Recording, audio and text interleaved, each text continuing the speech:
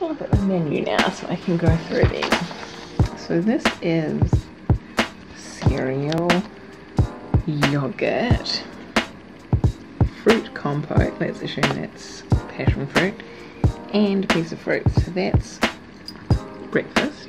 Morning tea, this could be, oh, it's banana cake. I'm like, I have to smell it.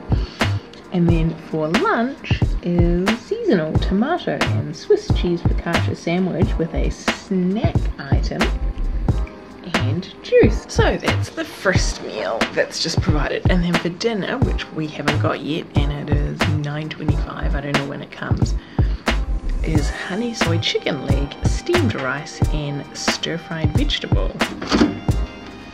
There is camping milk.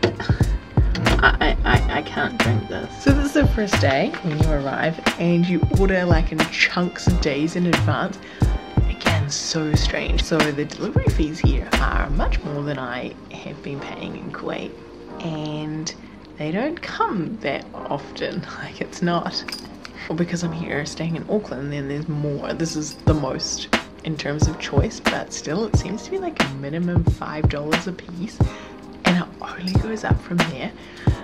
I mean, sometimes I wouldn't even order $5 worth of food, so it seems really weird to then have to pay such a chunk of money just for delivery.